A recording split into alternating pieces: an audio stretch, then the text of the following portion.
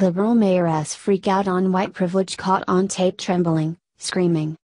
White privilege is a term leftists like to throw around when making points about the so called systemic racism they claim exists in the United States. But when someone challenged the notion of white privilege during a city council meeting in New Brighton, Minnesota, Mayor Val Johnson became unhinged. Her behavior represented what every sane voter should be worried about an elected official governing on feelings and emotions instead of facts and reality. Video footage of the meeting which took place in October showed how tensions flared when someone voiced an opinion that differed from Johnson's, and it was not pretty.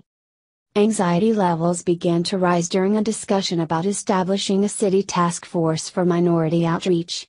Council member Mary Berg told her fellow council members that since the entire body is white, they all had white privilege coma which made it difficult for them to represent the different demographics of the city which is just north of Minneapolis. Berg's notion that a white city council could not represent New Brighton did not sit well within council member Gina Bauman. Because I am white, you think I was privileged my whole life? Are you kidding? Question mark Bauman said.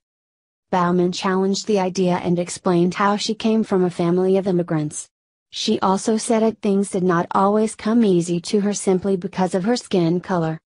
She explained that the real privilege is being American, and being able to live in this country, regardless of race. Bauman also told Berg that she thought she was generalizing by believing that all white people could not understand some of the challenges non white people encounter. That was the moment Johnson chimed in and called Bauman a racist. Bauman defended herself and a heated debate ensued with the women interrupting each other for several minutes. Johnson said the exchange made her so angry that she was shaking. Gina, I am passionate about this comment, Johnson said tearfully. For you to disregard the fact that white privilege exists is beyond me. Dot.